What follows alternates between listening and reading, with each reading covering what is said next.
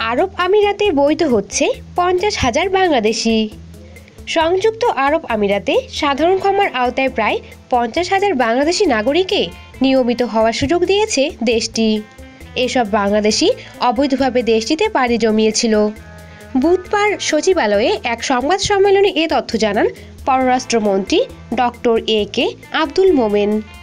প্রধানমন্ত্রী শেখ হাসিনা, জার্মানি ও সংযুক্ত আরব আমিরাত সফর নিয়ে এ সংবাদ সম্মেলনের আয়োজন করা হয়।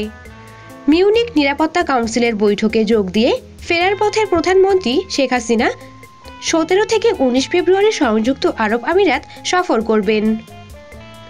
সংযুক্ত আরব আমিরাত সফরের বিষয়ে পররাষ্ট্রমন্ত্রী বলেন, সংযুক্ত আরব আমিরাত বাংলাদেশের দ্বিতীয় বৃহত্তম শ্রম বাজার ইতোমধ্যেই উনিশ ক্যাটাগরিতে বাংলাদেশি কর্মী নিয়োগের জন্য আরব আমিরাতের সাথে সমঝোতা স্মারক সই হয়েছে।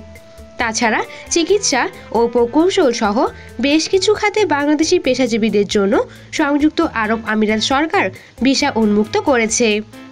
ডক্টর মোমেন জানান, গত বছর আগস্ট থেকে ডিসেম্বর পর্যন্ত আমিরাত সরকার ঘোষিত পঞ্চাশ হাজার বাংলাদেশি সাধারণ ক্ষমার আওতায় নিয়মিত হওয়ার সুযোগ পেয়েছেন।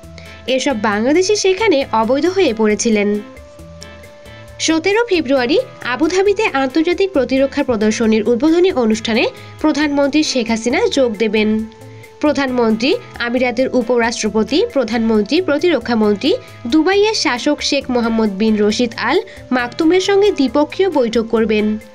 আবুধাবির ক্রাউন প্রিন্স ও আরব আমিরাতের deputy supreme commander Sheikh Mohammed bin Zayed Al নাহিয়ানের সঙ্গে বৈঠক করবেন বলে আশা করা হচ্ছে।